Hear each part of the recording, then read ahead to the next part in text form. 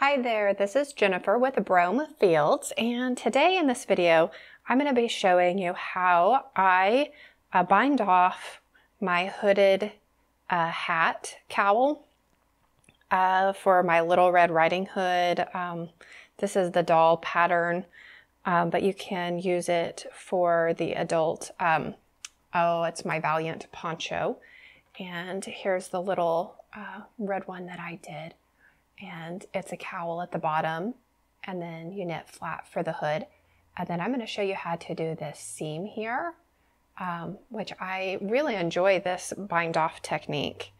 Um, I'm using Lion Brand Wool-Ease Thick and Quick yarn with size, I believe I have 11 knitting needles. You want to use it, have an even number of stitches. And I took my cable and kind of pulled it out the back like I'm going to knit in the magic loop method, but really I'm going to knit both sides together. Actually, I'm going to crochet them together. So I have a size 10 crochet hook. And what I'm going to do is I'm going to go into the stitch as if to knit. Without dropping it off, I'm going to go into the back stitch as if to knit. And then I have my yarn back behind both needles I'm going to hook it through both stitches and I do it loose, loosely. And then I'm going to drop both stitches off at the same time. And I'm just going to keep doing that all the way across. So I'm going into as if to knit, as if to knit, and then pull it through. And then we're going to bind it off. So I'm going to slip this first stitch over the second stitch. So I always only have one stitch on my needle, my crochet hook.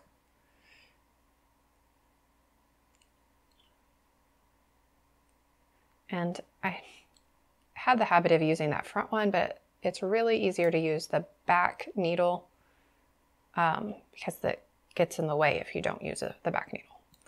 All right, so I'm gonna go in as if to knit, as if to knit, pull both through, slip off, and bind off. And I do it with, um, I would say, a medium tension.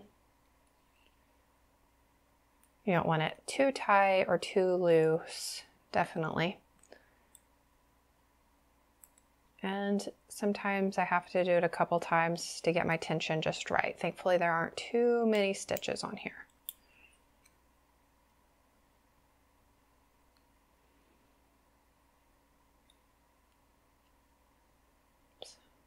Stuck here.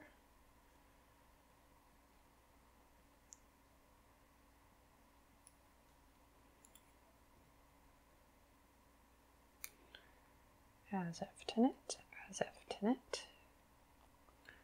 Pull it through and bind off.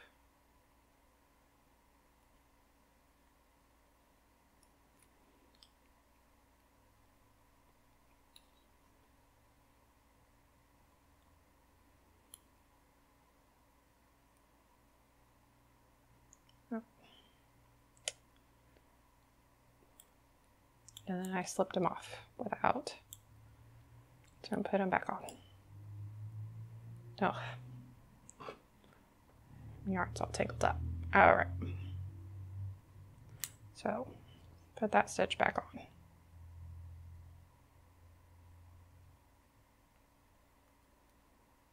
Actually, we're gonna put them both back on because I did, I need to bind it off. All right as if to knit, as if to knit, pull through, and slip it off.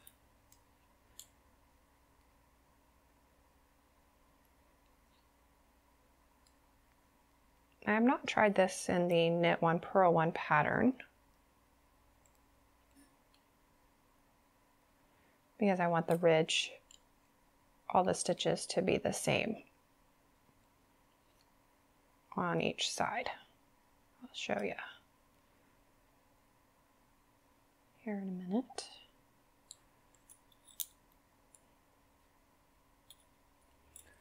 There, I'm going to slip that off.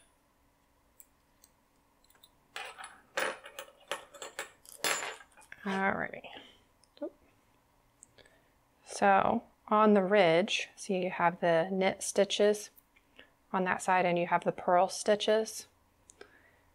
So that gives you your ridge. And for the Little Red Riding Hood a hat, it is flat, but you can kind of pull that and you can shape it so you have a little bit of a, a point on, on the hood.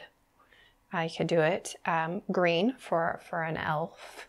That would be cute for a Christmas elf even. Black, you can do Robin Hood. So um, yeah, that has a lot of possibilities. Um, and then there's the red one.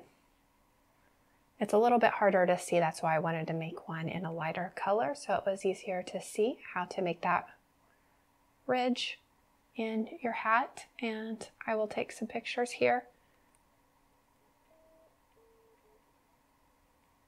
of the little girl in her little Red Riding Hood.